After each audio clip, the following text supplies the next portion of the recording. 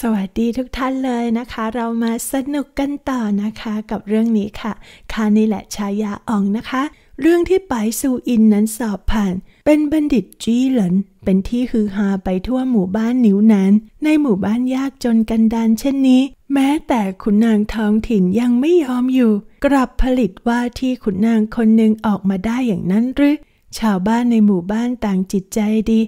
แต่ละคนก็ร้วนดีใจกับสกุลป๋ายจากใจจริง หลายบ้านที่มีลูกชายก็เริ่มคำนวณกันป๋ายซูอินเพิ่งจะไปเรียนหนังสือได้ไม่กี่ปี ก็สอบเป็นบัณฑิตจี้หลันได้แล้ว ไม่รู้ว่าเจ้าลูกชายของพวกเขา พยายามตอนนี้จะยังทันหรือไม่ แม้ค่าเรียนเดือนละหนึ่งตำลึงจะแพง แต่อนาคตของลูกสำคัญกว่าอะไรทั้งหมด ตาหัวเห็นหลิวซื่ออาการสุด ไปซูฟางก็เป็นลมไม่ได้สติ จึงไม่กล้าไปไหน จนกระทั่งไปซูฟางฟื้นขึ้นมาในตอนเย็น ถึงได้วางใจ วันรุ่งขึ้นฟ้ายังไม่ทันจะสว่าง ตาหัวก็นั่งวัวเทียมเกวียนที่ยืมมา ออกเดินทางไปยังจังหวัดเหมยหัว เพื่อบอกข่าวดีแก่นายน้อย คิดไม่ถึงว่าเย็นวันเดียวกันไปซูอินจะนั่งรถม้ากลับมาที่บ้าน ที่แท้ทางหน่วยงานจัดสอบ ไม่เพียงส่งคนมาตีค้องบอกข่าวดี กับครอบครัวของผู้เรียนที่สอบผ่านอย่างเดียว แต่แปะรายชื่อผู้ที่สอบผ่าน ไว้นอกกำแพงสถานที่ สอบเช่นกัน ก่อนหน้านี้หนึ่งวันทางสำนักบัณฑิต ส่งคนไปเฝ้าล่วงหน้า หลังมั่นใจว่ามีชื่อของผู้เรียนในสำนักบัณฑิต ก็รีบเดินทางกลับมาที่จังหวัดเหมยหัวทันที ดังนั้นบ่ายวันที่ประกาศผลสอบ ไปซูอินก็รู้แล้วว่าตัวเองสอบผ่าน สอบผ่านแล้วก็ใช่ว่าจะกลับบ้านได้ทันที ต้องขอบคุณครูบาอาจารย์ที่ประสิทธิ์ประสาทวิชาให้เสียก่อน โขกศีรษะคำนับอาจารย์ทุกคน หลังจากนั้นก็ล้างเท้าให้ แล้วโขกศีรษะให้อีกครั้ง หลังจัดการทุกอย่างเรียบร้อย ก็ล่วงเลยมาถึงมื้อเย็นทำได้เพียงพักที่สำนักบัณฑิตอีกคืน แล้วเช้าวันรุ่งขึ้นก็ค่อยออกเดินทาง สอบผ่านทั้งที การปฏิบัติย่อมดีขึ้นกว่าเดิมด้วย ก่อนหน้านี้หากจะไปไหนมาไหน ต้องเช่ารถมาเองหนเนี้ยทางสำนักบัณฑิตให้ผู้เรียนสองคนที่สอบผ่าน ยืมใช้รถม้าของอาจารย์กลับไปบอกข่าวดีกับที่บ้าน ต้องขอบคุณม้าที่วิ่งได้เร็ว เดิมทีต้องใช้เวลาเดินทางหนึ่งวันครึ่ง ข่าวนี้ใช้เวลาเพียงหนึ่งวันก็ถึงบ้านแล้ว หลิวซื่อเห็นบุตรชายทุกสุขก็ผสมปนเป ลูกอินดีแล้วดีมากแล้วคำพูดพันหมื่นล้วนพูดไม่ออก พูดได้เพียงคำง่าย ๆ ไม่กี่คำในใจอิ่มเอมปริมสุขกับกลายเป็นว่าความสามารถในการพูดลดลง ปายซูอิน พยุงมารดามานั่งที่เตียงดิน คุกเข่าแล้วโขกศีรษะ ลูกอักตันยูเกิดมาพิการ15ปีที่ผ่านมาลำบากท่านแม่แล้วหลิวซื่อขอบตาแดงเรือกล่าวอันใดกัน เป็นแม่ต่างหากที่ให้กำเนิดเจ้าไม่สมบูรณ์ เจ้าไม่โกรธแม่ก็ดีแล้ว จะโทษท่านแม่ได้เช่นไรขอรับ เพื่อลูกแล้วท่านแม่ต้องลำบากไปตั้งเท่าใดลูกรู้ดีหนนี้สอบผ่าน ในที่สุดก็นับว่าได้ตอบแทนท่านแม่สักครั้ง ท่านแม่โปรดวางใจ ต่อไปลูกจะให้ท่านแม่ได้อยู่สุขสบายกว่านี้ แม่ไม่อยากที่จะใช้ชีวิตสุขสบายอะไรหรอก แม่ขอแค่พวกเจ้าพี่น้องปลอดภัย แต่งงานมีลูกครอบครัวสุขสันต์แค่นี้ก็ดีกว่าอะไรทั้งปวงแล้ว ลูกพึ่งจะสิบห้า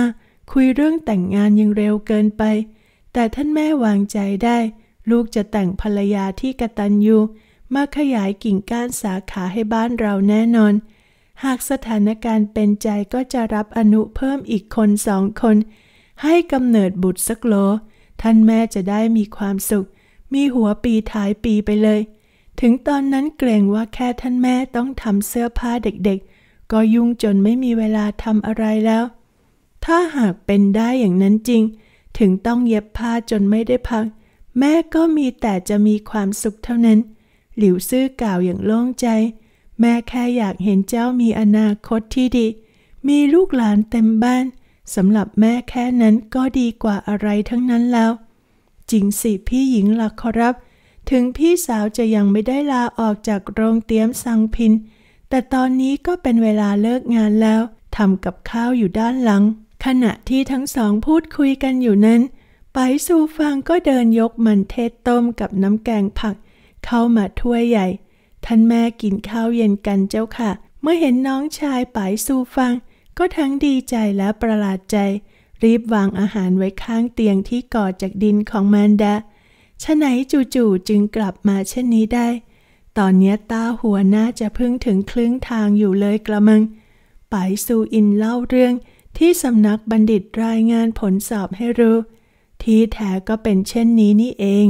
ไปซูฟังคิดในใจ เช่นนั้นตาหัวก็ไปเสียเที่ยวแล้ว หนนี้สำนักบัณฑิต ฉินจือ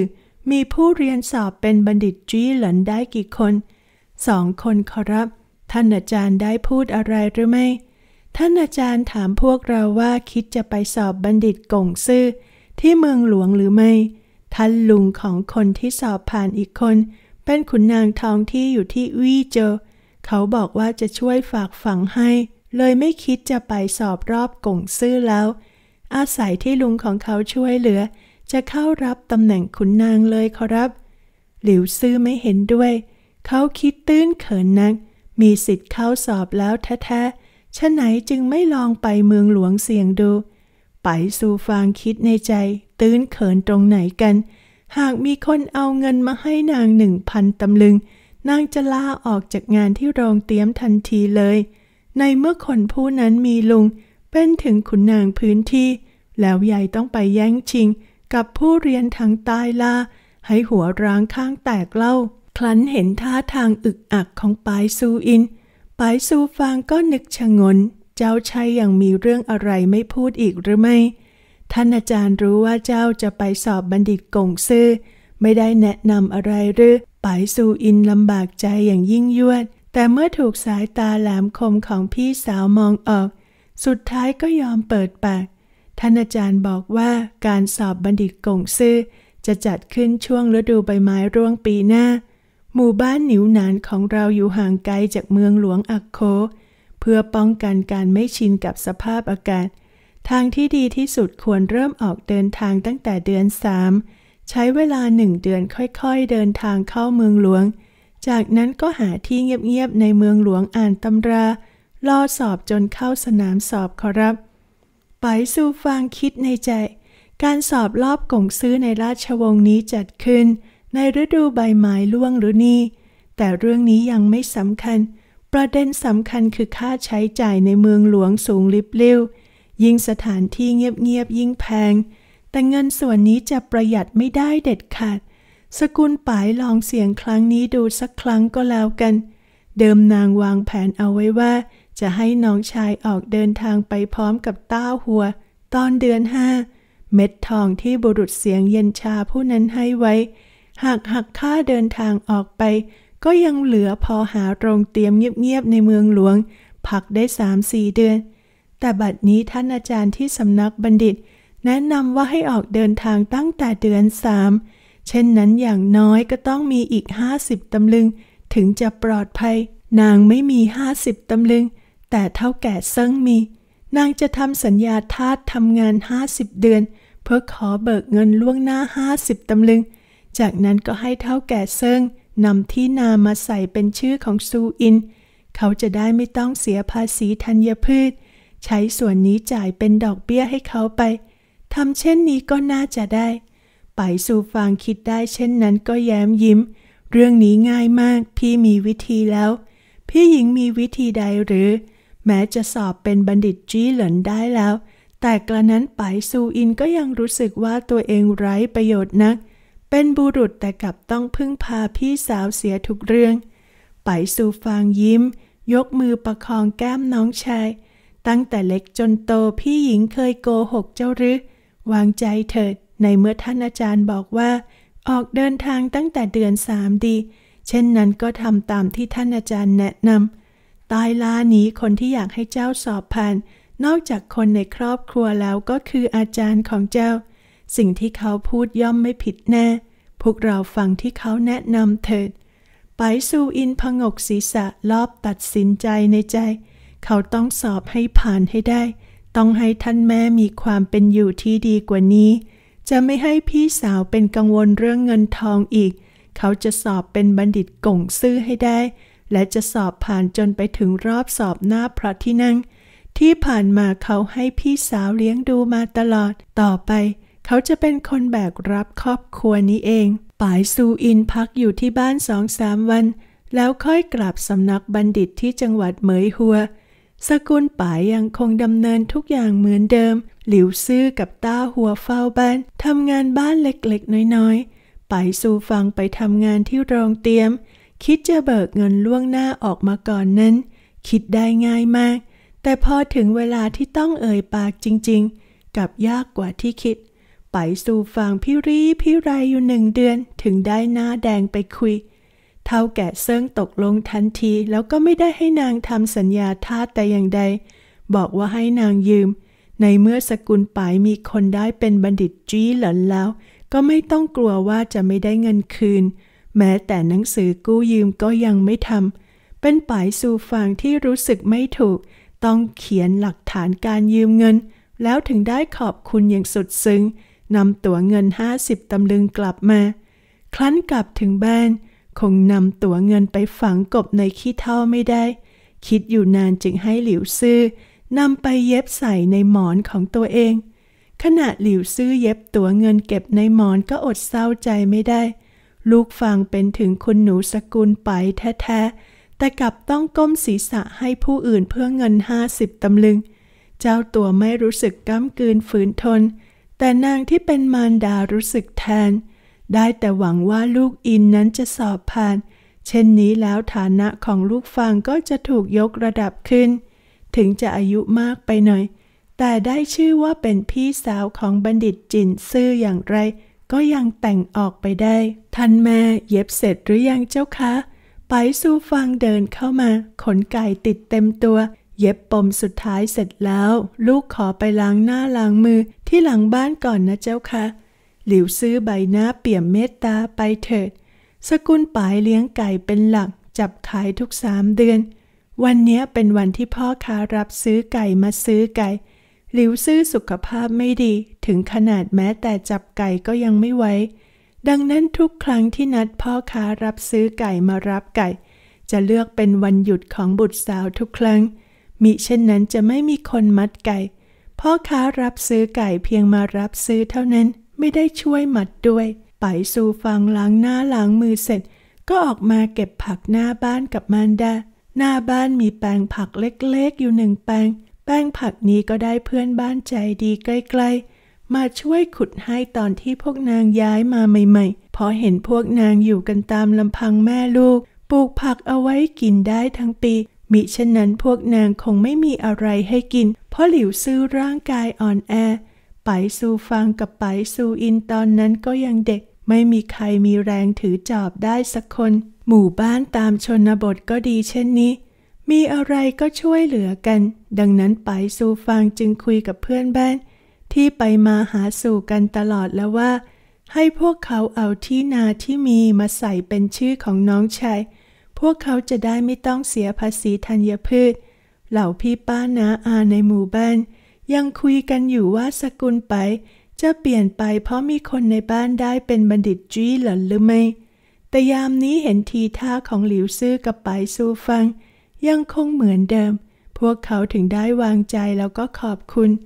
ไปสู้ฟังเก็บผักกับหลิวซื่อสองสามกำขุดมันเทศอีกสองสามหัว นี่ก็คืออาหารมื้อเย็นของสกุลไป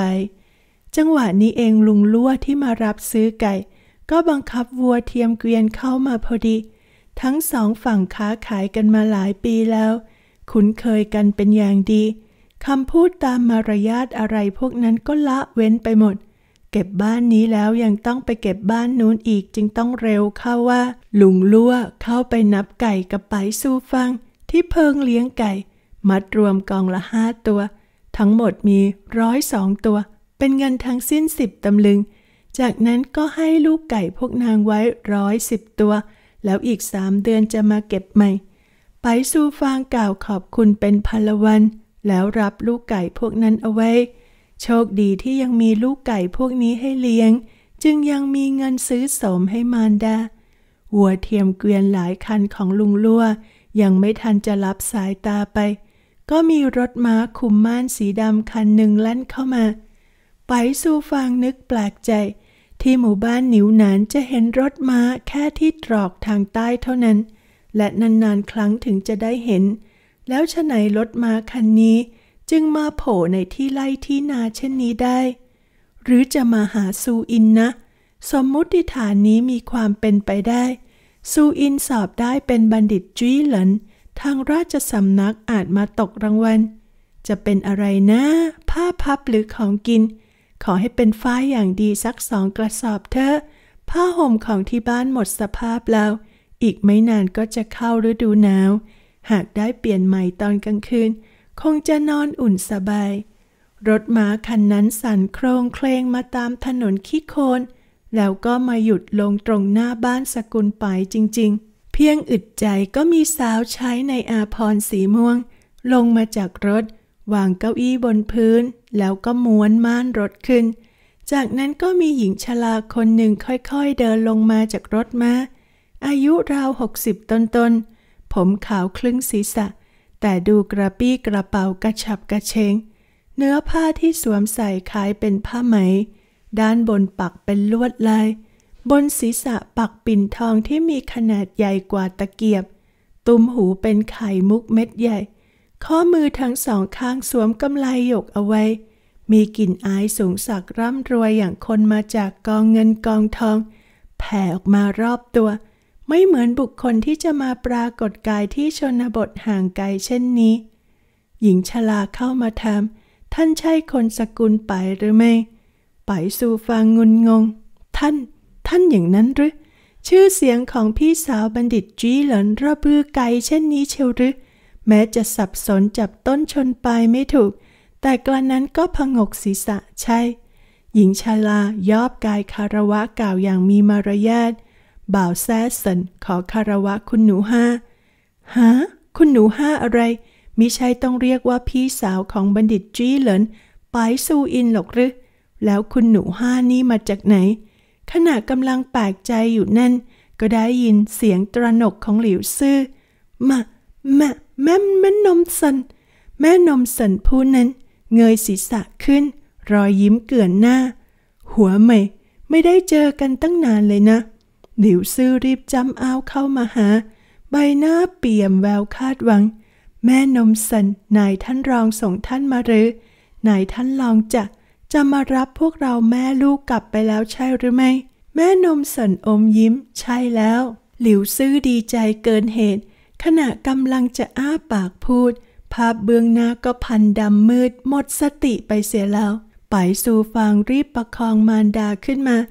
สาวใช้อาพรสีม่วงก็เข้ามาช่วยกัน ทั้งสองช่วยกันประคองคนละข้างพาหลิวซื่อกลับไปที่เตียง เมื่อเอานิ้วอังใต้จมูกพบว่าลมหายใจนับว่ายังสม่ำเสมอดี ไปสู่ฟังเห็นมารดาหมดสติไป สีหน้าก็เริ่มไม่น่ามอง ท่านแม่ไม่ค่อยสบาย แม่นมสินกลับไปก่อนเถิด คนสกุลไปช่างอับประมงคลโดยแท้ เพียงปรากฏตัวมารดาของนางก็หมดสติเสียแล้ว แม่นมสินยิ้มกล่าวว่า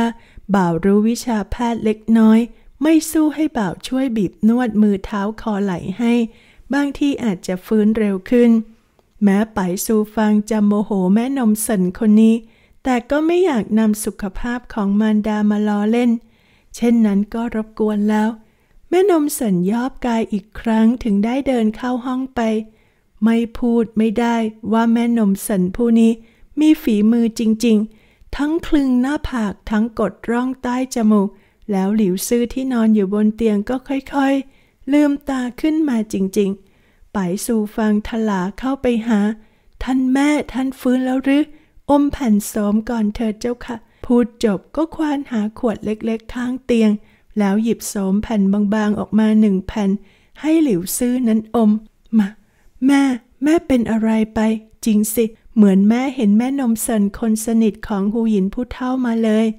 หลิวซื่อพันเบิกตากว้างอย่างตระหนก แม่นมเซินบ่าวอยู่นี่เจ้าค่ะ เป็นท่านจริงๆนะหรือ ใช่แล้ว หัวเหมย ไม่ถูกสิ ตอนนี้ควรเรียกท่านว่าหลิวอีเหนียงแล้วหู้หยินผู้เฒ่าบอกว่าท่าน ให้กำเนิดบุตร มีผลงานจึงยกท่านเป็นอีเนียง ต่อไปท่านก็จะเป็นอีเนียงของบ้านรองอย่างถูกต้อง เอาละค่ะเพื่อนๆค่ะแหมอีทางตระกูลปายนะคะ ตอนนี้พอลูกสอบได้เนาะลูกหลานสอบได้จีหล่นแล้วก็รีบมารับเลยนะคะ ก็ขอให้ทุกท่านมีความสุขเดี๋ยวเรามาสนุกกันต่อนะคะ เดี๋ยวครอบครัวของนางเอกของเราจะย้ายเข้าไปอยู่ในเมืองหลวงแล้วล่ะค่ะขอให้ทุกท่านมีความสุขวันลาไปก่อน สวัสดีนะคะ